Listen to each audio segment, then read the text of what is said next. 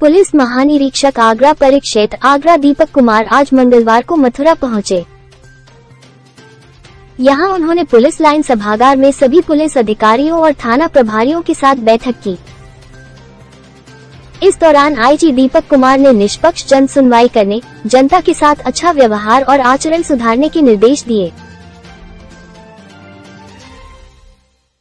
वहीं उन्होंने सुरक्षा व्यवस्था, अपराध एवं अपराधियों पर शिकंजा कसने और जनपद में शांति व्यवस्था बनाए रखने हेतु आवश्यक दिशा निर्देश दिए।